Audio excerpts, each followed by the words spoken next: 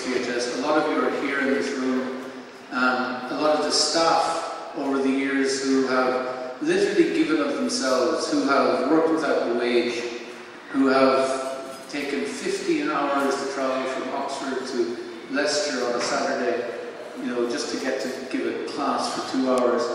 Um, all the scholars who've been involved, um, for Professor Ward and Professor Gombrich and, and, Peggy Morgan, who are our first board of governors.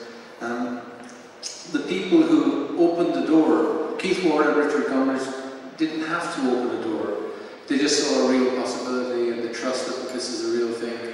And that's how these things happen. It's a little, little kitchen arrangement. Now, it was actually a conversation in Christchurch College. That's how the, the centre started. And then one person got involved, two people got involved, and that's how these things build up. It's not difficult to understand, but at the same time, there is a vision involved, and it's a little bit incomprehensible. The academic world is difficult to sell. It's not, you know, a child with a begging bowl, or it's not peace in the Middle East. It's, it's a whole different caliber of, of issues. But the centre has been around for 20 years and we're solid. And we have 20 more years to give. After 20 years, I won't be here to give this talk. I won't be the director of the centre. We'll have moved on, and this is a proper, mature development of any institution. And that's what the centre has become. And it's become so because of your help. And in the next 20 years, apart from everything we're doing in the academic world, we'll be able to reach out beyond that to help people in every community understand the issues uh, within Hindu culture. The philosophies, the theologies, the culture, the art, the music, the dance, the architecture. So this could be part of global discourse, because currently it isn't. Currently, globalization means economics and politics, and it hasn't stretched to the intellectual and the spiritual. And there needs to be a parity of esteem if we want to talk actually about globalization that there needs to be a peer relationship. Um, at the moment, there isn't a peer relationship, work together. And this is, with breaking down East and West and all this, we can work together to make this happen. And Hindu studies is a very good model to base this on, because when it comes to the East, it's rather incomprehensible to most people. Indian philosophy isn't really studied very rigorously in the West. We've only begun to do teaching Hindu studies in Oxford after 20 years. It's only a tiny foothold. Uh, the, the, sorry, Indian philosophy. These are the beginning days of a field of study, and within this field of study, there are fields of study. There's Vaishnava studies, Shaivite studies, Shakti studies.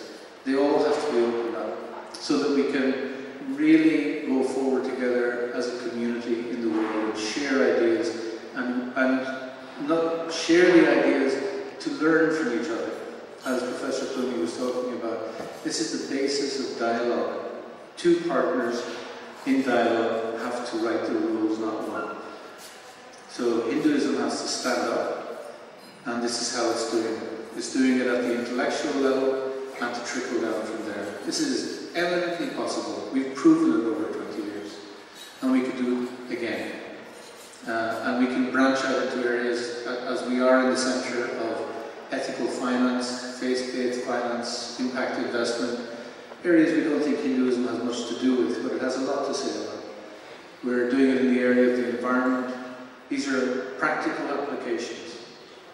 Um, and these are the areas that we have to concentrate on for the next 20 years. I'll continue to push it on for the next few steps, but I'm interested to see who takes the baton and who takes the baton from Professor Flood as the academic director of the centre. And wouldn't it be great that in 1831 Thomas Boden established the Boden Professorship of Sanskrit in Oxford, possibly one of the most prestigious in the world.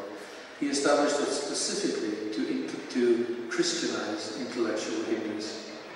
Wouldn't it be great if a practicing Hindu sat in that chair at some stage to show that this is really possible?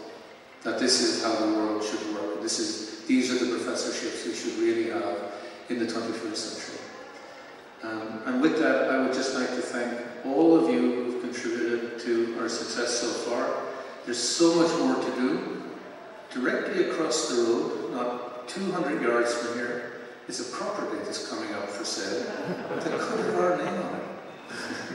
if any of you want to go with me afterwards and have a look at it, the, the person selling the property rang me this very day to say he was keeping it off the market to see if we were interested. Just a thought. I'll leave you with that. Thank you very much.